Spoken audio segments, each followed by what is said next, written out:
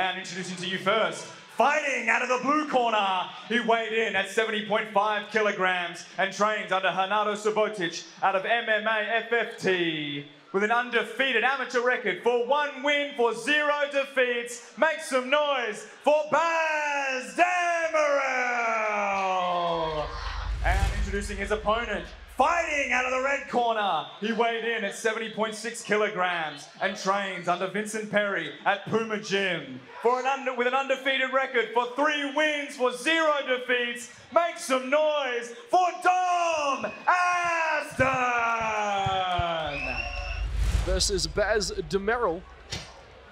Both men undefeated. Dom, you good? Shoot. Both men looking to continue their win streaks to near Nathan Cage side with Ben Vickers round one. Here we go.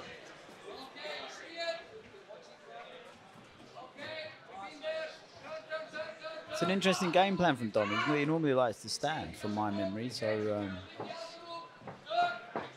attacking the grapple early, but Bass um, Basri's turned the position, and here we go. And then we're throwing some shots. There might have been a little clash of heads in there. We speak of Dom Aston liking to strike. He burst onto the scene at Eternal MMA 54 against Patrick Hill. And he, Nice he beat. Jaron Wag in his last fight, and he's looking to add Baz to that list. But Baz proving a tough customer here early in round one, Ben. Yeah, absolutely. The wrestling's good. He's, absorb- he's absorbing a few leg kicks um, early, and it's moving his leg quite a lot. Whether that's his defense, he, he moves his leg out with the kick, or whether they're having the impact they look like they're having. It's a dangerous one for the judges, there. Good head position being used by Dom here. He's got the underhook on the same side, which is always dangerous. But Baz is very, very good with his balance. He's very composed in, in the wrestling. And Dom's, Constant pressure, Ben. Dom's cut. Maybe that clash of heads did uh, open a small nick. Seems to blood seems to be going around the outside of the eye. This this is probably what Dom's about. He wants to be in bloody fights. He wants he wants to be in in, in a state and pushing through. A different breed. Well, if you remember his first fight against Patrick Hill back in October of He's 2020, got to watch his two head years position ago. here. We'll come back to that later. This is a tough position for Dom Aston. Yeah, this, he's he's oh he's good slap. He's fought the hands really well here. He's, I think he's good. Well, didn't the tables turn quickly when it was all Dom Aston? Fantastic grappling from Basri there, and, and aggression. It's turned in favour of Baz Demirel, and you can hear Jarrett Wilbraham in the corner of Dom Aston go back to plan A, he says, and here's that standing and bang you spoke of earlier, Ben. Look, these boys are very good. Um, Basri's only had one fight.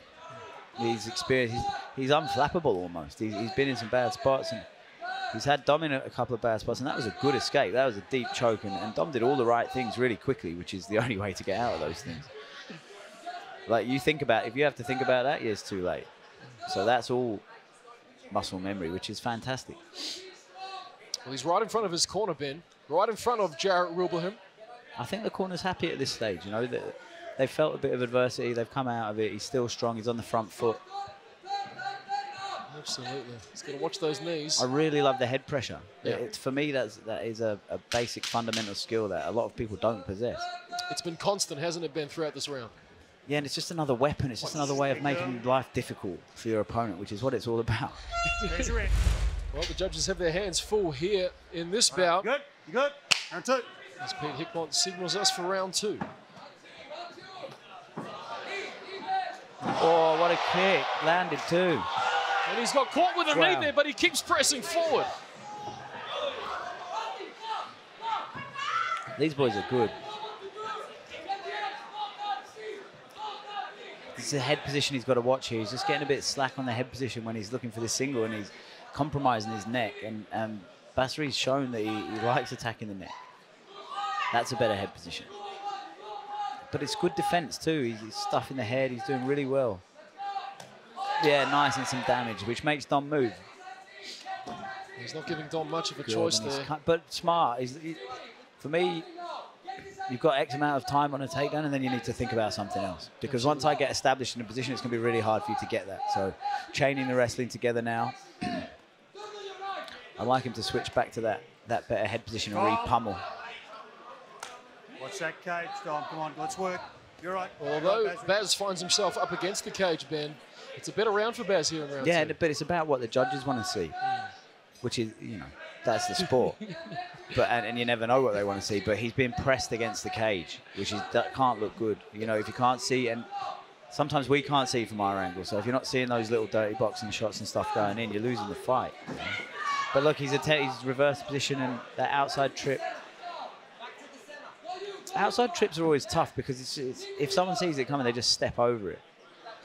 So it needs to be better set up or, or switch to the inside. Couldn't agree more with you, Ben Vickers. Proud to have you as our fight analyst this evening, adding plenty of colour here in the commentary booth tonight. No one better to do it than yourself as There's Dominic Aston goes kick. low A big right hand. to the Oh, good body, body goes Aston. there. Yes, Ben. Oh, big shot. That big right hand's been looking for a home and it found it. And he's straight back on him now. But both boys are bloodied up now. And Dominic Aston taking a leaf out of Baz's book, a flying knee, unsuccessful. I'd just like to see Battery return his jab back to his chin. And he might avoid some of these right hands that he's shipping. Well, they're right in boys front are- of us. They're boys are trading right now. crack. Get out of the cage, mate. And that's a Battery that's that's a clear that's a clear cage grab. Well, look, Wow. fortu- fortunately, it didn't um, help him. Otherwise, there might be sanctions for that. But um, Dom's relentless. There's 20 seconds to go in the round. Great knee there. Baz is starting to feel the pressure of this fight now. He shipped a lot of damage this round, and he's been on the back foot. Well, 10 seconds down, and then again back and forth, making it uh, harder for our judges here, cage side. Yeah, look, this round was a bit easier to score. So let's find out. Dominic Aston sent centre cage straight away. Beautiful.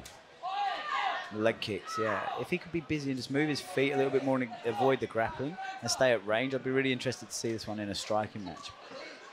But Baz seems to back up, get backed up against the cage, and then we end up in this position.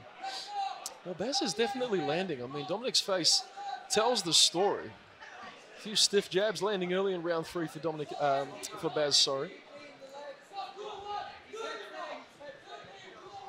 That's nice hit knee position there, yeah, beautiful. Beautiful grappling from Dom. I, I, I never get cease to be amazed by how good these guys are. And I know I keep saying, oh, this guy's good. Obviously they're good, but that that's my way of saying, wow, like, I knew you were good, but this is next level. What? Oh, no, totally. And speaking of good, this is a good oh. position Oh. for Dom Aston. It was, but not so much anymore. Fingers out of the cage, Dom. as Baz starts to pour on the pressure now, using all of his tools. And they're big shots that are just creeping through the gloves, Ben.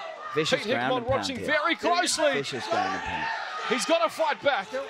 Beautiful from Dom. He knew he had to get up. He couldn't ship too much more punishment like that. And this is a fight, ladies and gentlemen. This is Ronaldo down. Look, time there, time there. Well, Oh, great my acknowledgement from Dom Aston there. He said that I catch you low. Baz acknowledged. And uh, he's taking uh, his time here as Dom tries to rally the crowd here at the Southport Sharks. good. Got a couple minutes. Take your time. And why wouldn't you be? All right. It's yeah. Look, Ladies uh, and gentlemen, this kick to the toolbox is brought to you by Building Industry Training. yeah. Look. You ready? You sure? Good. Very clever, Come Blake. on. Very clever. Blake, they don't call him Hollywood for nothing. Blake Hollywood Richardson. You missed that out in the introductions, T. I'll make sure to reintroduce him. Coming up to our main card. Look, We're back to the action on our undercard here. Ben. Yeah. Now it's coming down to a question of who wants it more. I, I, I think Well, it's that classic saying, isn't it, Ben?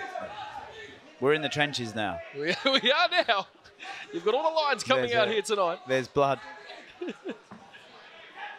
There's low blows. There's eye pokes. Oh, well, That- speaking of one for one, a shot to the toolbox and an eye poke.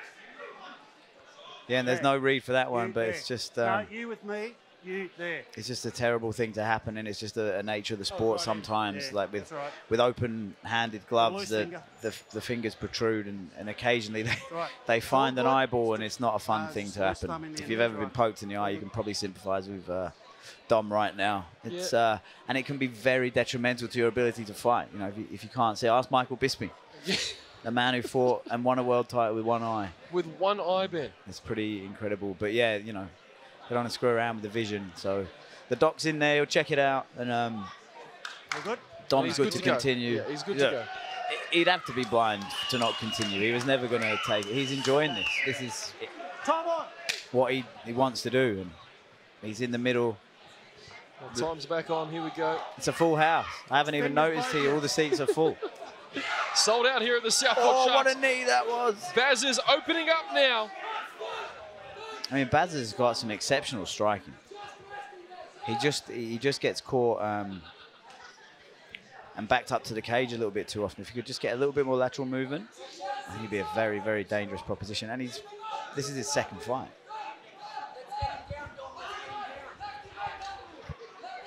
We're back in this um, cage wrestling position. Dom's head position's dropped a little bit. Maybe his eyes a bit sore and he doesn't want to press it against someone else's head, which I understand. And look at What a Bas- kick. Basri opening up here. Uh, this is an early contender for fight of the night, but which one hasn't been? Oh, Oh, that low leg kick hurt. all of them worthy Okay. fight of the night performances, but he's hurt Baz there as Baz backs up. Spinning wheel kick just misses. Last 10, Baz has got to go for it. I think um, Dom's just done enough for me. And here comes here comes Demirel. Ladies and gentlemen, after three rounds of incredible action, we go to the judges' scorecards for a decision. All three judges score this contest by unanimous decision for your winner in the red corner,